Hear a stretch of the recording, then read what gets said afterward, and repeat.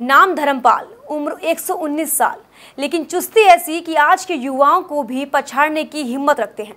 जी हाँ हम बात कर रहे हैं भारत के सबसे उम्रदराज धावक की, जो मेरठ से चलकर फरीदाबाद पहुँचे हैं।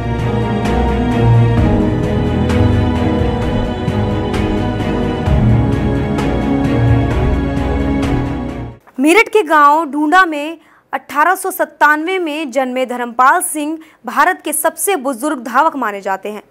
119 बसंत पार कर चुके धर्मपाल जन्माष्टमी की पूजा करने के लिए फरीदाबाद के तिगांव पहुँचे, जहाँ उनसे उनकी इस उम्र में भी चुस्ती का राज जाना। उनका कहना है कि वे भारत की तरफ़ से मलेशिया में भी दौड़ में झंडा फहरा चुके हैं और 200 मीटर की दौड़ में भारत के लिए गोल्ड मेडल लेकर आए हैं। इतना ही नहीं, आज भी वे युवाओं को हराने का दमखम रखते हैं।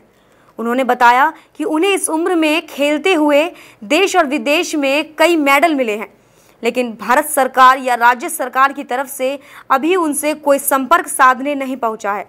इस बात का उन्हें मलाल भी है।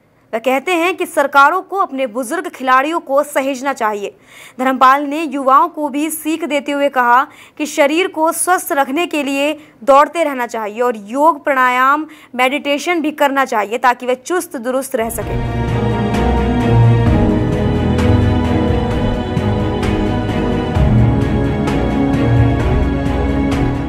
मुझे कोई परेशानी नहीं। केवल सफ़र में चलने के बाद थोड़ी खांसी तो बन जाती है। और मैं यदि एसी की किसी कमरे में किसी मकान में या किसी गाड़ी में हूँ तो फिर मुझको बीमारी साबित होने लगती है। मतलब मैं एसी से मेरा परहेज है। अच्छा आपके फैमिली में कौन कौन है? कितने बच्चे हैं? मेरी फैमिली में तीन लड़के हैं चार लड़कियाँ हैं। पोते? पोते भी हैं। देवते भी हैं सब हैं मतलब परिवार संपन्न है। परपोते नहीं परपोता नहीं कोई।